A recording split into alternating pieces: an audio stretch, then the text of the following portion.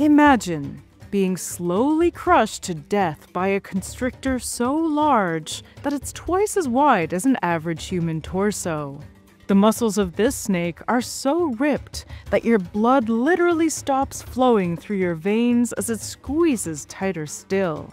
That last breath you took, it's going to be your last, since it's now wrapped its 15 meter long form around you. Could this terror be in our future? Let's find out by looking into the past. This is Vasuki indicus. Hi, I'm Danielle Dufault, and you're watching Animalogic. We thought we'd already uncovered our planet's largest snake, but paleontology is never short on surprises. Turns out we were so dead wrong, we were practically fossilized. Is this the new longest snake ever to be discovered? Let's dig in. Vasuki indicus was a giant snake that lived around 47 million years ago, during our current geological era called the Cenozoic, which began after the dinosaurs went extinct 66 million years ago. In 2004, researchers first described these 27 vertebrae as a new species, naming it after Vasuki, a mighty serpent king from Hindu mythology. That's despite having found the bones way back in 2005. In paleontology, there's no need to work quickly since the fossils they find aren't exactly going anywhere. But we have to work quickly to save the animals alive today. Their plight is similar to many of the animals closest to us. 94% of the animals raised for food live their whole lives in factories, where profits are more important than animal welfare. They spend their days in cages where they can't move around, it's sadly a life full of suffering, but thankfully, a lot of progress is being made. Organizations like the Humane League are going beyond raising awareness of this issue and actually fighting for better policies for these animals. Thanks to their amazing work, since 2007, the percentage of cage-free chickens has gone from 3% to over 45%. That's amazing! and they're still fighting to get rid of cages and help these animals live happier lives. But they need help, and one of the easiest ways to support them is Tab for a Cause. This is a browser extension that shows you a couple of ads at the corner of your new tabs. These ads help the Humane League fund their operations and continue fighting for a better future for the animals. So scan this QR code or click on the link in the description to help the animals and the people fighting for them. And now back to Vasuki indicus. Given the size of the bones, they were able to determine that the living Vasuki snake would have likely been between 10.9 and 15.2 meters long and weighed up to a ton. For some perspective on just how big that is, imagine two to three giraffes stacked on top of each other. These 27 vertebrae of a single individual may not seem like much, but they can tell us a lot about these extinct reptiles. First of all, some of the bones were actually laying in the same position they would have been inside of the snake. The vertebrae themselves can also tell us how this snake would have looked from the outside. The fossils show how the ribs would have been attached, telling us that the snake had a broad and cylindrical body and would have probably looked like a large python. Bones can also tell us a lot about how the animal would have lived. Because of the shape of these backbones, scientists have hypothesized that it was not a marine snake, since they have different bone structure from what was found. Instead, researchers believe that Vasuki would have lived in marshy swamps, leading a terrestrial or semi-aquatic life. Vasuki was a constrictor-type snake and would likely not have been venomous. Instead, it would have wrapped itself around its prey and squeezed it to death. While we don't know for sure what Vasuki ate, considering its size, it probably wasn't an active forager and would have been an ambush predator like today's pythons and anacondas. Based on the type of prey that we know would have existed at the time in that region, researchers can guess that it might have eaten crocodilians. In addition to crocodilians, paleontologists have found a wealth of flora and fauna in the same dig site, known as the Naredi Formation. This includes turtles, fish, and even two primitive whale species. There are so many marine animals because this would have been a coastal region at the time. Vasuki indicus was just one species of a whole family of extinct snakes called Madtsoiids. The snakes that made up this family ranged in size, from enormous, like Vasuki indicus, down to small. The Madtsoiidae snake family appeared around 90 million years ago, but only went extinct about 12,000 years ago. The paleontologists studying it have determined that Vasuki indicus was probably slow-moving, but just because it's slow doesn't mean it didn't get around.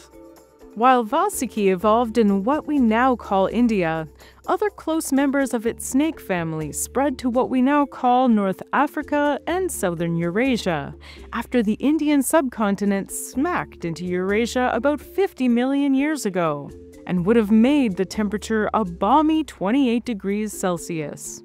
These warm temperatures are most likely the reason that Vasuki indicus and other Madtsoiid snakes were able to get so large in these Middle Eocene tropical zones. That's because snakes are ectothermic, meaning that they get their body heat from external sources. In order to get as large as Vasuki once was, the ambient temperature would have had to have been very warm. While the direct correlation between environmental temperature and body size has proven to be nuanced, one study set out to determine how temperature impacts snake development. In this study, three different enclosures of varying temperatures were created for hatchling tiger snakes. The colder environment snakes had to bask longer to maintain the same internal temperature as the others. And indeed, the colder snakes were smaller. But why would colder temperatures have such an impact on snake size? The researchers had a few theories to explain this phenomenon. One simple explanation could be that smaller snakes, with less body to heat, have an easier time maintaining their body temperature than larger ones. Another theory suggests that the need to expend more energy to find places to bask might explain why they have less energy to grow or that digestion is in fact more efficient in warmer conditions, so those in warm climates can better process the energy of what they eat. Whatever the reason, those temperatures sure seemed to help Vasuki become the biggest around. It's actually quite similar in size to the now runner-up in the snake size competition, Titanoboa. Titanoboa also lived in a time that was particularly hot, albeit longer ago. They lived around 65 to 55 million years ago, in present-day Colombia. Because we know about the relationship between size and ambient temperature, the discovery of Titanoboa actually helped scientists gain a greater understanding of the environment and climate in which it lived. One study suggests that Titanoboa not only spent more time growing than its ancestors, but was also growing faster, which would explain why the snake was able to get so big. They concluded that the temperature would have needed to be at least 30 degrees Celsius to support Titanoboa's growth to those giant dimensions. Plant fossils in the area that resembled today's tropical plants showed that Titanoboa lived in an ancient rainforest, the oldest one ever found in South America, and the foundation on which our current Amazon ecosystem is built. While they were both gigantic snakes, there aren't actually a lot of similarities between Vasuki and Titanoboa. Aside from living in completely different times and places, they didn't even live in similar habitats. Unlike Vasuki indicus, which was a landlubber that dabbled in swamp life, the evidence we've found suggests that Titanoboa was an aquatic snake. We know this because its fossils are surrounded by lots of aquatic animals. Because of its size, it may have moved awkwardly on land and preferred gliding around in the water like today's anacondas. Their teeth, too, point towards being better suited to nabbing slippery fish, which further supports the hypothesis that Titanoboa was aquatic. They may have actually also eaten crocodilians, so maybe that is indeed one thing that Titanoboa and Vasuki had in common. Unlike Vasuki, of which we've only so far unearthed those 27 vertebrae, Titanoboa has a way more rich fossil record. Around 30 individuals have been found, a large proportion of which were adults, and around 13 meters long. Until we find more Vasuki individuals, we won't know their average size for sure. Maybe this one specimen was just huge, or maybe it was small compared to its supersized siblings. So if we only have a few handfuls of bones, how is it that we can make inferences about the whole species? It's quite common in paleontology to use a modern analog, or a species that exists today and could be used as a comparison for an extinct species. In the case of Vasuki indicus, researchers used the living reticulated python as their analog. They do admit themselves, though, that this modern comparison is imperfect since the Pythonidae and Madtsoiidae families aren't necessarily closely related. Sometimes, paleontologists just need to use the best available option to them. In the case of Vasuki, they chose the reticulated python because of its large size and their best guess about how similarly Vasuki hunted. They used the inference about Vasuki's preferred habitat to help them choose the reticulated python, which also lives a semi-aquatic life in swamps, marshes, and lowland forests.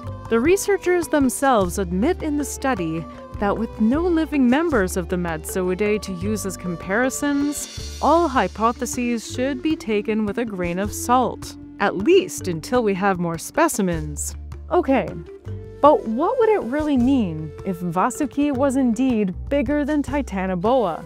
Well, that would dethrone Titanoboa from its high position as the largest predator we've ever found on Earth from the time the dinosaurs went extinct 66 million years ago to Megalodon showing up about 23 million years ago. So, as you can see, the stakes are sky high, or snake long, however you want to say it.